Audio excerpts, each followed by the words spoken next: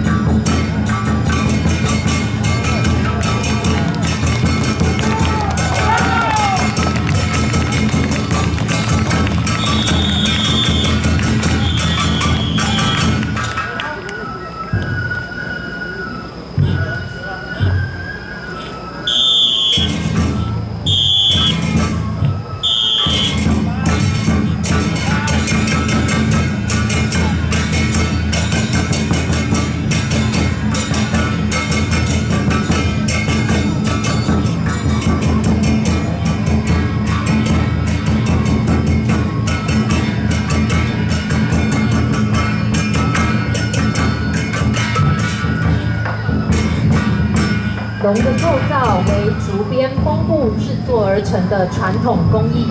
龙首重达十斤，龙尾约七斤，龙每一节的身体为五斤，因此操作舞龙的动作是非常耗费体力的。竜は頭、体、尾の3つの部分からなり竹で編んだ骨格に布を貼り付けるという伝統工芸で制作されています 頭の重さは6キロ尾は4.2キロ体は1つの節がそれぞれ3キロずつあり各部位を操操るには非常に体力を消耗します。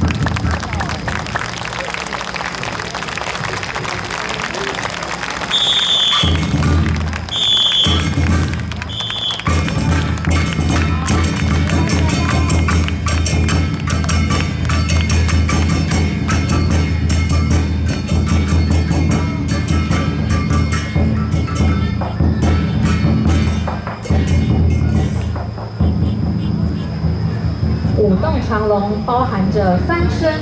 高攀、跳跃、换手等动作，但最重要的还是团队精神。舞弄龙身时才不致打结或停顿下来。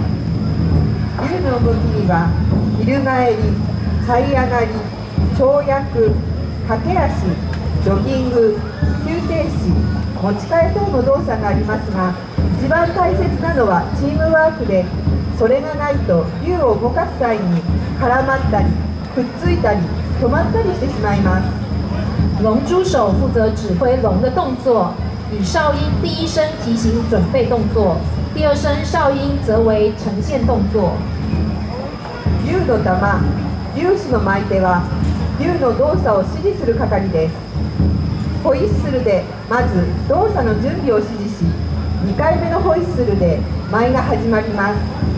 見る側もホイッスルに注目することで次の舞の始まりを知ることができます。